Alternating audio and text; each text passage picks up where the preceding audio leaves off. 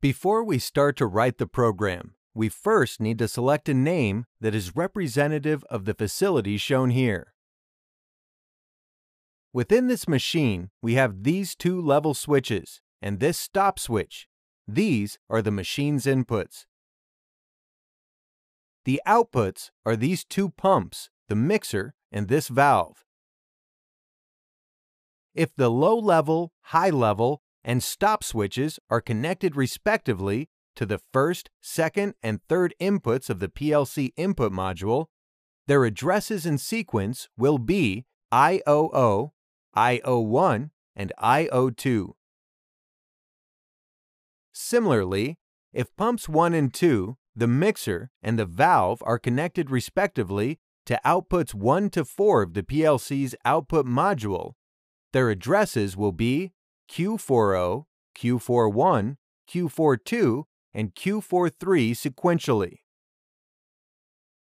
Okay, now that we know all the addresses of the inputs and outputs, we can go to the option menu and open the symbol table to give each address a representative name. We enter the name L level for the low level switch and leave the type as Boolean because the switch is digital. We continue naming the addresses with representative names until all addresses have a name.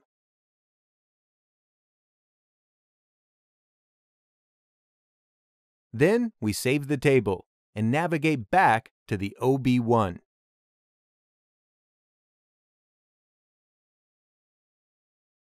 Okay, so as we did before, we want this switch here and both pumps to be energized when the level of the liquid in the tank drops to the minimum.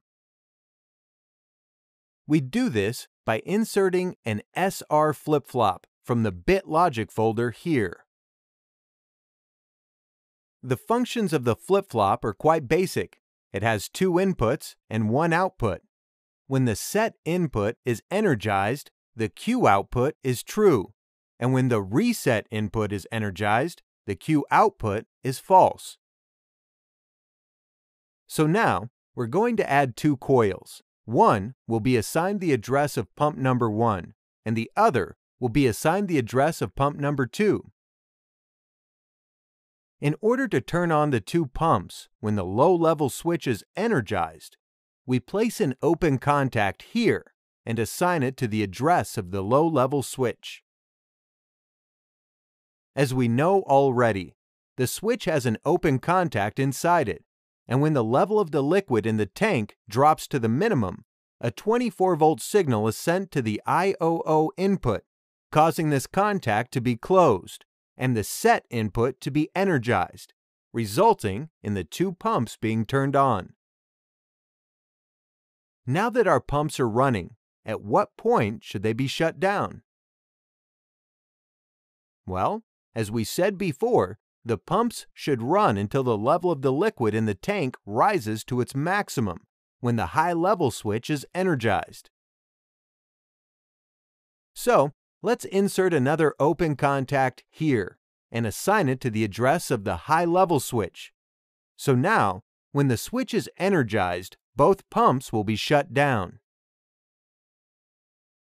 We also add the address of a memory bit here for the flip-flop. Okay, so after the tank has been filled and the pumps shut down, we want this mixer to start up automatically to mix the liquid in the tank for 7 seconds. So first, we need to add a new network here, then insert an extended pulse timer here, giving it an address of TO. Now, we add an open contact here for the set input, assigning it the address of the high level switch. And then we add a coil here for the output, giving it the address of the mixer. Now we need to set the duration of time for the mixer to run in the time valve input using S5 time formatting. In our case, we want to enter 7 seconds, so first we enter S5T, then the pound sign, and then 7S which represents 7 seconds. We also need to add an open contact and assign it to the address of the valve for the reset input. Now with these settings, when the high-level switch is energized, the mixer will be turned on and run for 7 seconds. So because the reset input has an open contact with the address of the valve, the mixer can never be energized while the discharge valve is open and liquid is being discharged from the tank. Now, what should happen after the mixer is turned off? That's right, the discharge valve should open to discharge the liquid from the tank to be used elsewhere in the factory. So now, we need to insert a new network and insert another SR flip-flop here. Now, which one of the outputs do we need to turn on with this flip-flop? Yes, it's the valve that we need to activate with this instruction. So we place a coil in the flip-flop output, assigning it the address of the valve. Now, when exactly should this valve be energized? Or in other words, when should the valve open? Right again. As we said earlier, the valve should open after the tank has been filled and the mixer is finished mixing the liquids. So we need to insert an open contact for the high level switch here, and following that, we insert a closed contact for the mixer. With these settings, when the tank is full and the mixer is off, the valve will open. So how long will the valve stay open? Well, it will remain open until the level of the liquid drops to the minimum set level, which means the tank is fully discharged at this point. So which one of these facilities will be energized when the level reaches the minimum? Right, the low level switch. So we should insert an open contact into the reset input so that when the switch is energized, the valve will be closed. We also assign an address of M01 to the flip-flop memory. Okay, our program is almost complete but we also have a stop switch here. Stop switches normally remain closed. This means that the contact within the switch usually remains closed allowing the signal to pass through them. When the switch is pushed, the contact is opened and the signal is disconnected.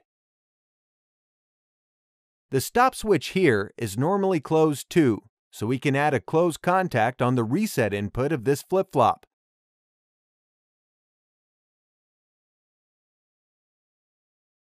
and we can also copy and paste it for the other networks.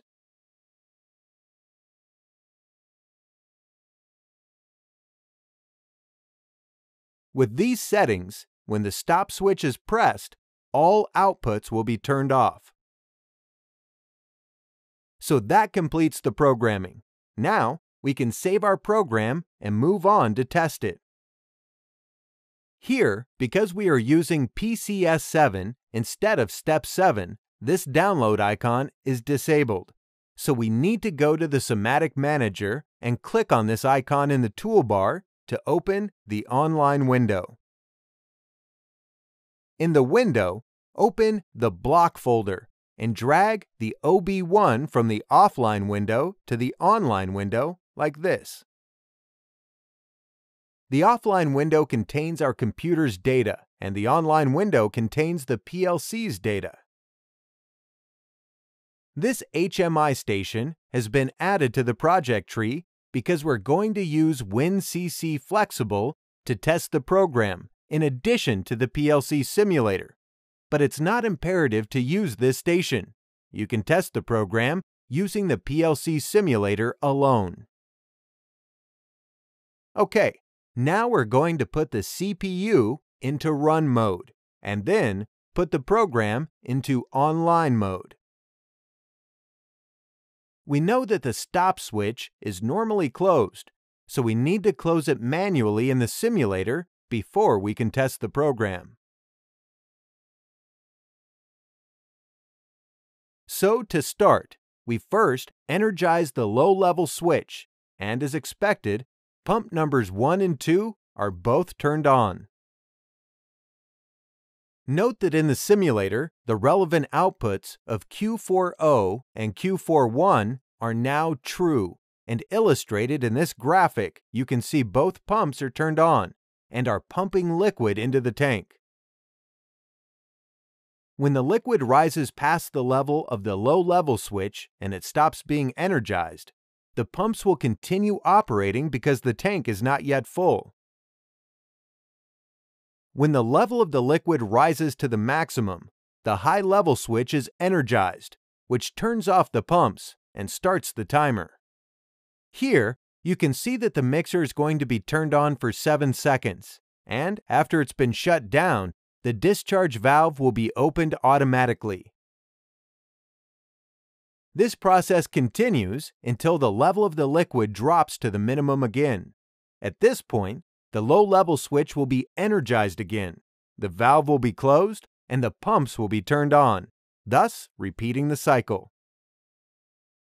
At any point during the machine's operation, if we press the stop button, all the outputs are turned off, as you see here.